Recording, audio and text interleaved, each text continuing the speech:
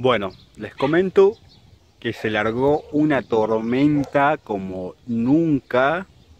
Por suerte, era una tormenta que estaba postergada varios días. El pronóstico estaba, no llovía, no llovía, no llovía. Y justo esta noche, la noche que pasó, se largó una tormenta que no se imaginan lo que fue. Parecía que el cielo se hubiese roto. Y por suerte los rosales agradecidísimos un día más. Pensé que había muchas floraciones estropeadas. La verdad que, bueno, como dije en otro video, eh, las floraciones a veces es lo de menos, pero había mucho calor y, y se necesitaba el agua. Porque tampoco había aguas, el servicio estaba cortado. Así que, bueno, agradecido por la lluvia. Gracias Dios. Aquí les presento un rosal inglés muy muy bonito. Su nombre es The Pilgrim, creado por David Austin en el año 1991. Este rosal yo lo había visto un par de años atrás, creo que hace dos años aproximadamente, y llegó eh, el año pasado. El año pasado lo hice traer. Presenta un color amarillo que es un amarillo bastante pálido que parece un blanco y va subiendo de tono hacia el centro, muy bonito.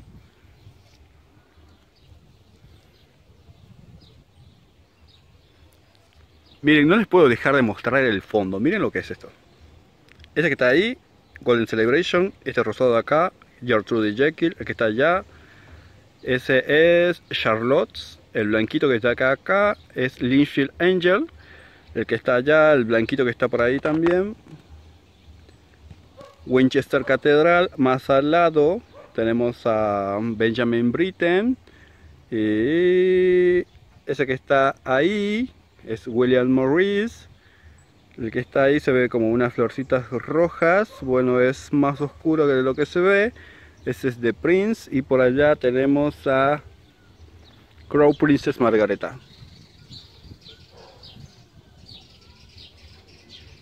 Los rosales ingleses, como les he mencionado, son una maravilla, son de las cosas más bonitas. Em, si me preguntan si este rosal es perfumado, la respuesta es sí, tiene un perfume que se cataloga como perfume de rosa té. Eh, como todo rosal inglés,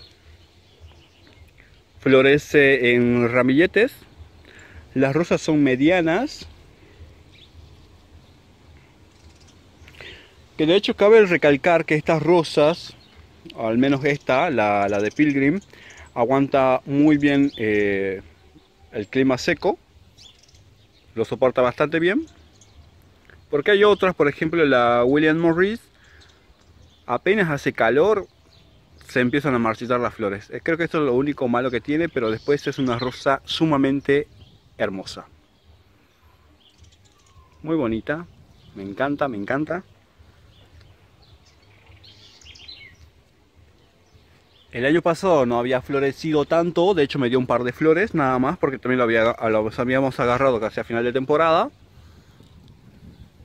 Miren esto, ah, vení acá, vení para acá. Es hermosa, es tal cual, así como ustedes la ven de este color, así se ve en los catálogos.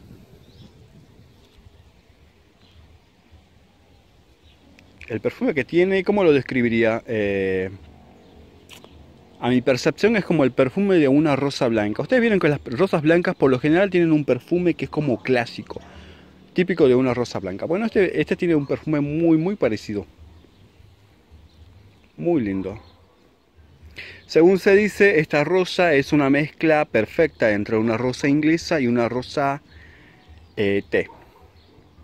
Como les he comentado en otros videos, los rosales de David Austin, o sea, los rosales ingleses, o sea, lo que son estas variedades de rosas, son rosas inspiradas en rosas antiguas, o sea, se han cruzado rosas antiguas con rosas modernas, y lo que resultó fueron estas bellezas que, eh, si bien son híbridas de té, también este, se han catalogado como una variedad nueva, eh, como los rosales ingleses.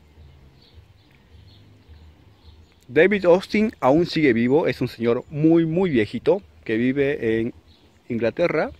Es muy viejito, de tener como 80 años, pero sigue vivo aún. Bueno, ese señor tiene una empresa y bueno, es este David, David Austin Garden Rose, si no me equivoco. Y es de donde salen todas estas bellezas que crean año tras año. Cada año siempre están hibridando, creando variedades nuevas que son sorprendentes. A mí me fascinan. Muy bonita. Bueno, espero que les guste. Lo disfruten tanto como yo. Comenten qué les pareció. Si no la conocían, ya la conocen, se las presento. Y si la conocen y la tienen, bueno, supongo que les gustó, por eso la tienen. Muy hermosa. No saben qué contento que esté con la lluvia. Los sapos andan saltando por ahí. No sé si yo les he comentado, pero yo tengo un par de sapos ahí saltando por el jardín. Felices, no pueden estar. Yo le llamo Pepe. A lo mejor es uno es el otro, pero yo le digo Pepe igual, ¿viste? Pepe el sapo. bueno, espero que les guste y nos estamos viendo en un próximo video. Chau, chau.